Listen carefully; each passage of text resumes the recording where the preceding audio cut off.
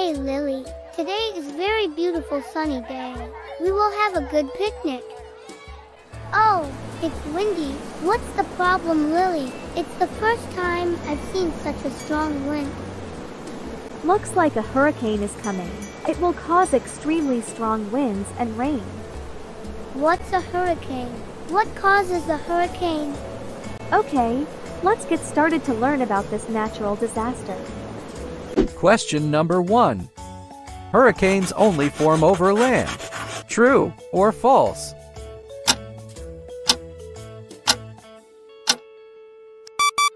Um, can you suggest something to me? Okay, can you see the huge tornado storm? Can this tornado form from land? False. Correct. Hurricanes form over warm ocean waters.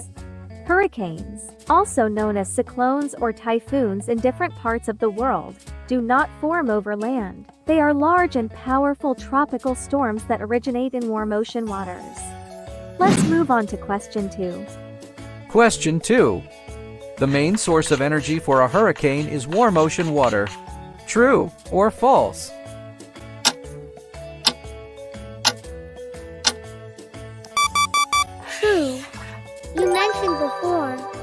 Hurricanes are formed from warm water. Good memory, Matt. The main source of energy for a hurricane is indeed warm ocean water. We're tied up. Warm ocean water provides the heat and moisture needed for a hurricane to develop and strengthen. As warm, moist air rises from the ocean's surface, it condenses, releasing heat into the storm's core. This process fuels the hurricane's intense winds and heavy rainfall. Lily, what meaningful information. Question 3. Hurricane categories are determined solely by their wind speed with no consideration for other factors. True or false?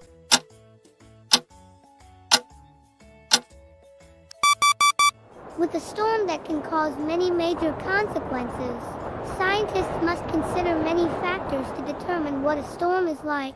False, isn't it?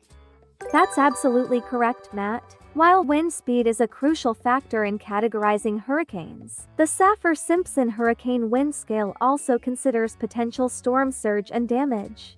The scale has five categories, with Category 1 being the least severe and Category 5 being the most severe, based on a combination of wind speed and potential impact.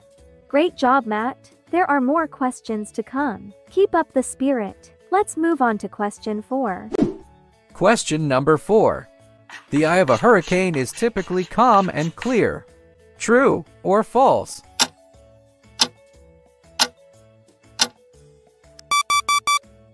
What is the eye of a hurricane?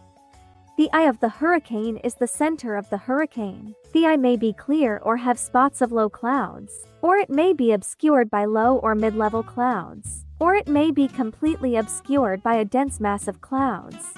That means it can be covered with clouds, so I guess the answer is true. Well done, Matt. Let's provide a bit more insight. The eye of a hurricane is typically calm and clear. In the eye of a hurricane, you'll often find clear skies and light winds. It's a stark contrast to the fierce winds and heavy rainfall in the hurricane's eye wall, which surrounds the eye. The eye is a unique and intriguing feature of these powerful storms. Question number 5. Hurricanes always move from east to west following the direction of the prevailing winds. True or false?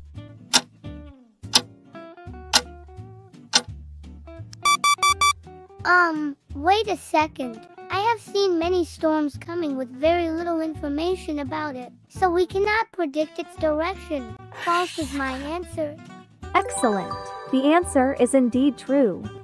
Hurricanes in the northern hemisphere typically move from east to west, but their actual path can vary. Their movement is influenced by various atmospheric and environmental factors, such as high pressure systems and the Coriolis effect, which can cause them to change direction.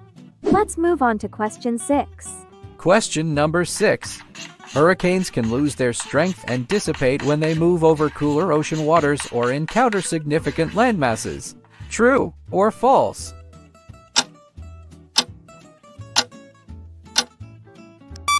false. I read in the newspaper that hurricanes do not always move in a straight line across the ocean.